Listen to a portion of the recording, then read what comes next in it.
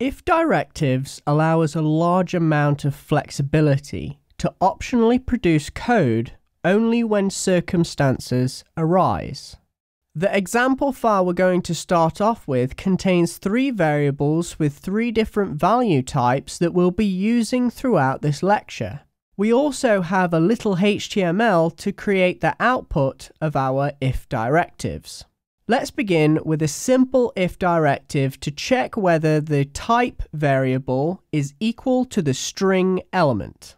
First, to declare the if directive, type in at if. Then we need the condition. This determines the circumstance in which something should or should not happen. So let's first target the variable named type and then say equals equals. The reason for the double equals is because we're going to compare the values to the left and to the right and make sure they match exactly. Now we can see if the type variable's value matches the string element. After the statement, add in opening and closing parentheses. If the statement beforehand is true, whatever is contained within those opening and closing parentheses will be executed.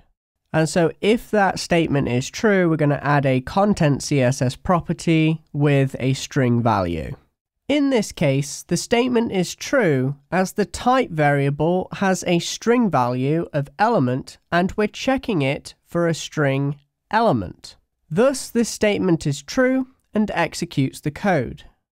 But what happens if the statement is false how can we then deal with the false statement?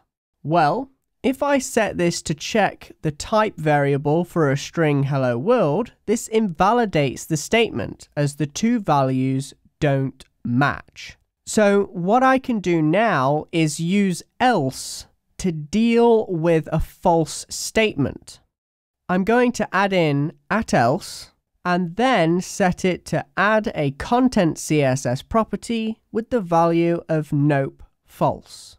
So as this statement is false, it can't produce the first piece of content because that's only if the statement is true. So we say else and it produces the second piece of content because it is false. So it's defaulted to the at else. Now, you don't have to stick with one if statement on its own and then just an else. You can use else if. This allows you to chain multiple if statements together. So I can now type in at else and then if. Now we can type in the next statement we want to check for. We could type in any statement, but we'll stick with the variable type as it correlates to the statement above. This time, we'll use a different comparison operator, which will check to see if the value of the variable type is not equal to hello world. To do this, type in an exclamation mark followed by the equal sign. Then we can add in a CSS property and value if this is true, which in our case it is true because the values don't match and the statement is checking if they indeed don't match. So we will have the produced code. Now let's look at changing this else if statement. We want to check the no value variable does not equal null. Null is a special string that is a value saying that there is no value assigned. So it's in essence a nullified value. This statement is now false as the value of the variable does match the null string value. Now we have two false statements, so the output produced comes from the final else statement that has no condition for its output. Next, let's review an if statement that contains numbers and an equation. Let's make an if conditional that checks the num variable is equal to 10. This will produce the width CSS property with the value of 10 pixels.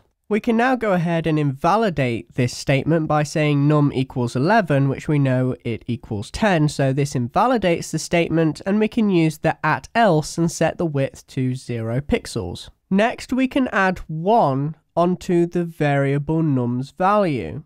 This means we can have equations in if statements. This validates the statement as num plus 1 equals 11, thus we get the CSS code produced.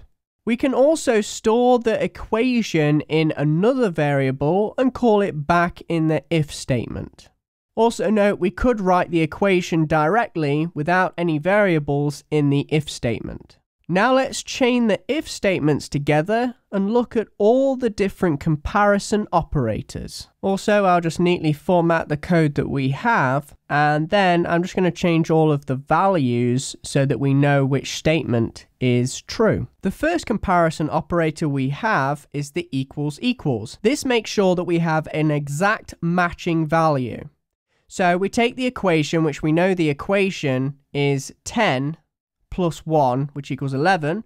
So we have 11 equals equals 11, which it does. So this statement is true and it produces a width of 11 pixels. However, I could change that to say 12 pixels. Now the equation, which is 11, does not equal 12, and therefore it invalidates this statement and we don't get the width of 11 pixels anymore. So what Sass then does is say, right, well, this is invalid. Now let's go to the next statement and see if it's valid. So we say if, then we're grabbing the equation, which is 11, does not equal 11, which as we know, the equation does equal 11. But if I was to change that to, let's say 10, well, now this statement is true because the equation 11 does not equal 10. And so we get a width of 12 pixels, like so. So I'm just going to change that back. And so now once I've changed it back, well, the equation does equal 11 now. So this statement is invalid. So we've got this is invalid, this is invalid. Then Sass goes down to the next one and says, is this if statement valid? So I say if, grab the equation, is greater than 11.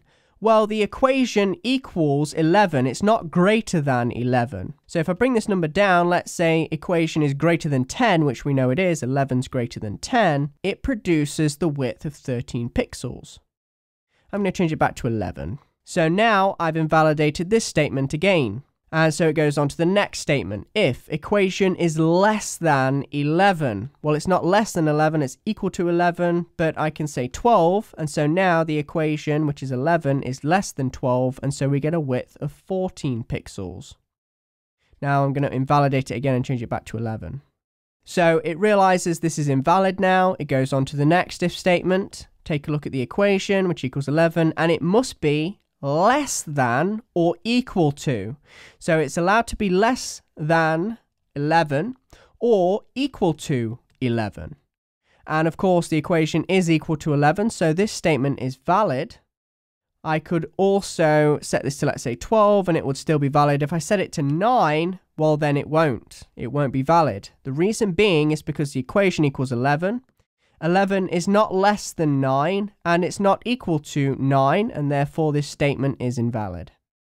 Then on top of that, we also have the next statement which grabs the equation and says, is the equation, which is 11, greater than or equal to 11? It is not greater than, but it is equal. So if I was to, let's say, make this 12, well, no longer is the equation greater than 12 and nor is it equal to 12 and therefore it invalidates this statement. So now we get a width of zero pixels because we're finally left with the at else which has no condition on it and it's just the fallback in case all of these other statements fail. And you can just take this and run with it. You don't have to have the if statements within CSS selectors. You can have them produce CSS selectors and produce snippets of code depending upon conditions.